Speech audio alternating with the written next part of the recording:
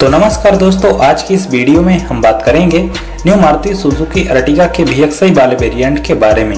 तो दोस्तों, इस वीडियो में मैं आपको बताऊँगा कि इस गाड़ी में आपको कौन कौन सी स्पेसिफिकेशंस देखने को मिलते हैं, इस गाड़ी की प्राइस इस समय क्या चल रही है, और अगर आप इस गाड़ी का फाइनेंस करवाते हैं तो ये गाड़ी आपको कितने में पड़ेगी। तो चलिए दोस्तों, बिना देरी किए इस वीडियो को शुरू करते हैं।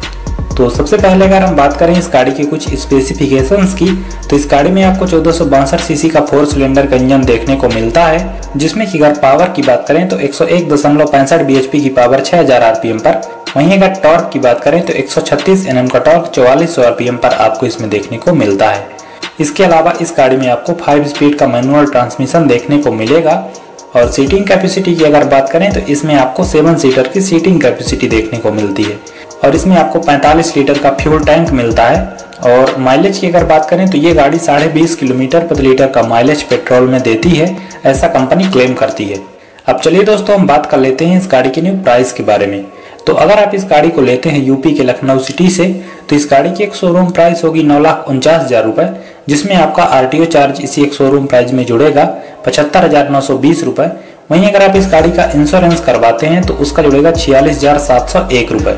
यानी कि सभी टैक्स और चार्जेस इंक्लूड करने के बाद, इस गाड़ी की टोटल ऑन रोड प्राइस निकल कर आती है लखनऊ सिटी की दस लाख इकहत्तर हज़ार छह सौ इक्कीस रुपए। अब दोस्तों, ये प्राइस जो है तो लखनऊ सिटी की है, लेकिन अगर आप इस गाड़ी को किसी दूसरी सिटी से खरीदेंगे तो इस गाड़ी की प्राइस थोड़ी कम या ज़्यादा हो सकती है। तो दोस्तों, आप नीचे कमेंट में ज़रूर लिखिएगा कि आप इस गाड़ी को किस सिटी से खरीदना चाहते हैं। अब दोस्तों, अगर आप इस गाड़ी का फाइनेंस करवाते हैं तो इसमें मैं आपको तीन फाइनेंस प्लान बताऊँगा।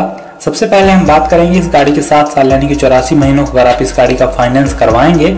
तो इसमें अगर आप कम से कम डाउन पेमेंट तीन लाख सोलह हज़ार रुपए तक का करेंगे तो इसमें आपका इंटरेस्ट रेट 8.5 परसेंट लगाने पर आपका लोन अमाउंट सात लाख छप्पन हज़ार रुपए का बनेगा।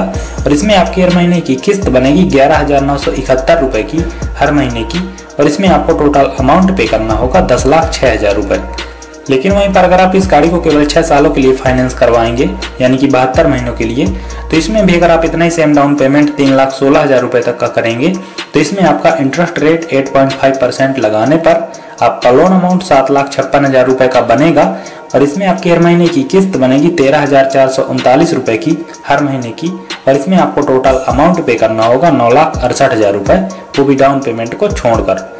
अब दोस्तों हम फाइनली लास्ट में बात कर लेते हैं कि जिन लोगों को इस गाड़ी का फाइनेंस केवल पाँच सालों के लिए करवाना है, यानी कि साठ महीनों के लिए तो वो भी अगर इतना ही सेम डाउन पेमेंट तीन लाख सोलह हज़ार रुपए तक का करते हैं तो इसमें आपका interest rate eight point five percent लगाने पर आपका लोन अमाउंट सात लाख छप्पन हज़ार रुपए का बनेगा और इसमें आपकी हर महीने की किस्त बनेगी पंद्रह हज़ार पाँच सौ नौ रुपए की हर महीने की और इसमें आपको टोटल अमाउंट पे करना होगा नौ लाख इकतीस हज़ार रुपए, वो भी डाउन पेमेंट को छोड़कर।